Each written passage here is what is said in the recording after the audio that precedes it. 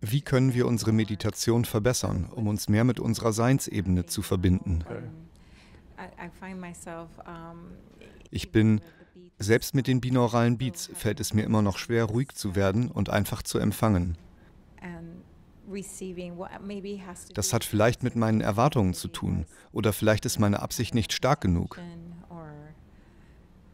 Es hat wahrscheinlich eine Menge mit Ihren Erwartungen zu tun, vielleicht auch etwas mit Angst. Aber das Entscheidende an der Meditation ist, dass Meditation eine intuitive Übung ist und keine intellektuelle Übung.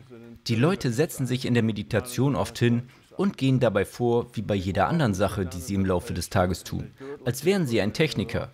Sie setzen sich hin und versuchen technisch einen Meditationszustand herzustellen. Was tut man also? Okay, sie setzen sich hin, nehmen einen tiefen Atemzug und entspannen sich. Und sie gehen durch all die Dinge durch. Und dann tun sie dieses und jenes und dann lassen sie los von den Dingen und dann, was? Nichts passiert. Sie kommen zu dem Endpunkt, an dem sie entspannt sind. Sie haben losgelassen. Und da sind sie nun und nichts passiert. Das liegt daran, dass sie eine Meditation nicht technisch umsetzen können. Sie müssen sie geschehen lassen. Sie können nicht erzwingen, dass sie geschieht. Und es liegt nicht an der Technik, die sie verwenden. Es ist die Herangehensweise. Es ist ihre Geisteshaltung. Es ist ihr Gefühl, es ist ihre intuitive Seite. Die Meditation funktioniert also am besten, wenn Sie... Wenn wir rein über Meditation sprechen, sollten Sie wirklich keine Ziele haben und wirklich nichts, was Sie wirklich tun wollen. Sie wollen sich einfach nur entspannen und Ihr Bewusstsein kennenlernen, zum Gefühl des Seins gelangen, so dass Sie sich einfach als ein Stück Bewusstsein erleben. Das ist es, was ich Punktbewusstsein nenne. Sie sind ein Punkt aus Bewusstsein, der in einer schwarzen Leere schwebt. Die schwarze Leere steht einfach nur dafür, dass sie keine Sinnesdaten mehr verarbeiten. Die Sinnesdaten sind verschwunden. Oh, sie sind immer noch da. Wenn jemand hupt oder das Telefon klingelt, können sie es immer noch hören. Es ist nicht so, dass sie komatös geworden sind oder so. Sie verarbeiten die Daten nur nicht und schenken ihnen keine Aufmerksamkeit mehr. Sie schweben also im Bewusstsein, sehen nichts, hören nichts, riechen und schmecken nichts. Das sind Sie also in der schwarzen Leere. Und verweilen Sie dort einfach. Verweilen Sie dort und seien Sie sich gewahr, dass Sie existieren. Und das ist tatsächlich der erste Schritt bei der Meditation, den Punkt zu erreichen, an dem Sie sich in diesen Zustand des Punktbewusstseins begeben und einfach existieren können. Wenn Ihnen das dann leicht fällt und Sie diesen Zustand recht gut halten können, können Sie als nächstes beginnen, aktiv zu werden mit dem, was als nächstes folgt. Nutzen Sie Ihre Absicht, um irgendwo hinzugehen, etwas zu tun, mit jemandem zu kommunizieren, eine telepathische Unterhaltung mit jemandem zu führen, etwas zu remote viewen. Haben Sie eine Absicht, etwas zu tun. Und wenn Sie in diesem angenehmen Zustand bleiben, in dem Ihr Intellekt still ist und Sie einfach nur existieren, werden Ihnen diese Dinge sehr leicht fallen. Aber wenn Sie die Erwartungshaltung haben, dass es eine intellektuelle Erfahrung sein wird, nach dem Motto, oh, ich werde etwas remote viewen, ich werde über die Tennisplätze des Country Clubs am anderen Ende der Stadt schweben und nachsehen, was dort vor sich geht, denn das ist mein Ziel. Und Sie erwarten, dass Sie schweben und nach unten schauen, so als ob Sie in der Luft wären. Aber so ist es nicht, verstehen Sie? Das ist Ihr intellektueller Prozess. Sie wollen, dass es etwas Intellektuelles ist, aber so wird es nicht sein. Es wird so sein, dass Sie, wenn Sie dorthin gehen, dass Sie kleine Teile und Bruchstücke von Informationen darüber erhalten, was dort vor sich geht. Und Sie werden diese Teile zusammensetzen müssen. Sie werden sagen müssen, okay, wie ist die Stimmung? Wie ist die Atmosphäre? Wie sieht es aus? Welche Farben gibt es? Sie werden sich all diese Fragen stellen müssen, damit Sie Teile und Bruchstücke von Informationen erhalten. Und Sie werden feststellen, dass wenn Sie sie alle aufschreiben, Sie am Ende eine sehr gute Beschreibung beispielsweise eines Swimmingpools haben. Obwohl Sie das Bild vielleicht nie gesehen haben, bekommen Sie die Information. Und das ist der Anfang von Remote Viewing. Sie fangen an, Daten über ein Objekt zu erhalten, das ein Ziel darstellt. Und je mehr Sie üben, desto schneller geht es, desto einfacher ist es und desto wahrscheinlicher ist es, dass Sie tatsächlich Bilder bekommen.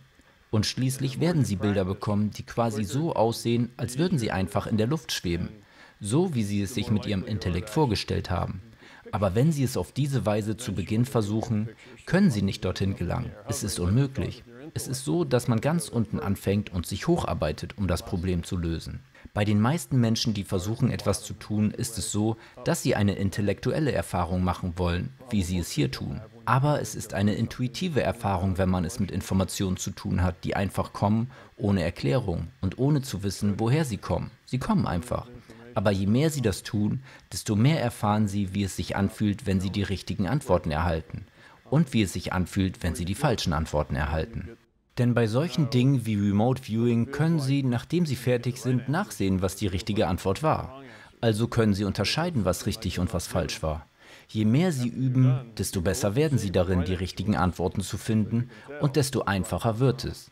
Und dann lernen Sie, etwas anderes zu tun. Zum Beispiel Daten über ein früheres Leben oder die Gesundheit einer Person oder etwas anderes zu erhalten. Und Sie müssen den ganzen Prozess noch einmal von vorne beginnen. Sie müssen mit kleinen Schritten beginnen und es sich wieder erarbeiten, weil es etwas ganz anderes ist. Beginnen Sie also den Prozess von vorne, aber haben Sie keine Erwartung. Lassen Sie einfach kommen, was kommt, und lernen Sie, sich dort in diesem Zustand des Punktbewusstseins treiben zu lassen. Denn das ist ein schöner Zustand, sehr angenehm.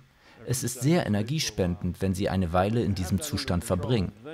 Aber wenn Sie das unter Kontrolle haben, dann sagen Sie, nun, ich habe eine Absicht. Ich möchte bei Tante Susi vorbeischauen, die ich seit 20 Jahren nicht mehr gesehen habe, um zu sehen, wie es ihr und Onkel Fred geht, wissen Sie. Und Sie können dorthin gehen, wo immer die beiden sind, und ein Gefühl dafür bekommen, was sie tun und wie sie sich fühlen, wie ihr Gesundheitszustand ist, alle möglichen Dinge. Aber Sie werden nicht unbedingt ein Bild sehen. Der intuitive Raum ist oft ein Gefühlsraum, nicht unbedingt ein visueller Raum. Aber irgendwann können Sie ihn in einen visuellen Raum verwandeln. Aber zu Beginn wäre es vermutlich besser, mit einem Gefühlsraum zu arbeiten, bevor Sie in den visuellen Raum übergehen. Denn der visuelle Raum wird wahrscheinlich erst später kommen. Ich meine damit, es ist einfacher für Sie, in den Gefühlsraum zu gelangen, als in den visuellen Raum. Ein visueller Raum erfordert eine Menge Präzision, richtig? Sie haben Pixel. Sie müssen eine Million Pixel in dieses Bild einfügen, um es zu erkennen. Und das sind eine Menge Daten. Und für die meisten von uns ist es so, dass sobald wir das Bild erkennen, unser Intellekt direkt eingreift und anfängt, das Bild zu interpretieren. Und das steht uns dabei im Weg. Sobald uns der Intellekt in die Quere kommt, ist Game Over. Es ist also besser, wenn Sie anfangs bei einem Gefühlsraum bleiben und schauen, was Sie erhalten. Es ist erstaunlich, wie lebendig ein Gefühlsraum werden kann. Wir haben hier linkshirnlastige Leute, die denken, ein Gefühlsraum, was ist das? Aber es gibt Menschen, die sich einen Gefühlsraum ansehen und ihnen alles beschreiben können, was sie auch auf einem Bild sehen können, nur durch das Fühlen. Wissen Sie, ich sehe keine Bilder. Alles, was ich tue, ist Dinge zu fühlen. Schauen wir mal. Ich sitze vor einem Gebäude mit rotem Backstein und weißem Beton an den Rändern. Und da parkt ein Feuerwehrauto. Das Feuerwehrauto ist rot, hat aber aus irgendeinem Grund eine gelbe Motorhaube. Und es gibt sechs Feuerwehrmänner, die alle schwarze Hüte mit weißen Krempen tragen. Und sie erzählen ihnen all diese Dinge. Wie fühlt man einen schwarzen Hut mit einer weißen Krempe? Wie kann man so etwas fühlen? Nun, offensichtlich erhalten sie Informationen. Sie interpretieren Informationen in Form von visuellen Eindrücken, aber sie werden ihnen sagen, dass sie nie wirklich irgendetwas sehen. Alles, was sie bekommen, sind Gefühle. Dieser Gefühlsraum muss also nicht sein, ich fühle mich gut, ich fühle mich schlecht, ich fühle mich glücklich, ich fühle mich traurig. Der Gefühlsraum kann bis direkt hin zu dem Punkt reichen, wie viele Streifen der Mann auf der Schulter seiner Uniform hat. Das kann man in einem Gefühlsraum fühlen. Er kann sehr reichhaltig sein, wie jeder rechtshirnlastige Mensch weiß. Dieser Gefühlsraum kann ein sehr ergiebiger Raum sein, mit allen erdenklichen Details. Auch wenn Sie vielleicht schwören, dass Sie nichts sehen, fühlen Sie die Dinge einfach. Arbeiten Sie also am Anfang zunächst mit dem Gefühlsraum. Später können Sie sich dann steigern, hin zu Bildern mit höherer Auflösung. Der Gefühlsraum ist einfach leichter zu handhaben. Es sei denn, Sie sind sehr linkshirnlastig. Dann ist der Gefühlsraum schwierig, weil Sie nicht wirklich wissen, was das bedeutet weil sie ihre Gefühle so lange unterdrückt haben, dass es schwierig ist, sie zu empfinden. Aber auch dann stellt dies eine gute Übung dar.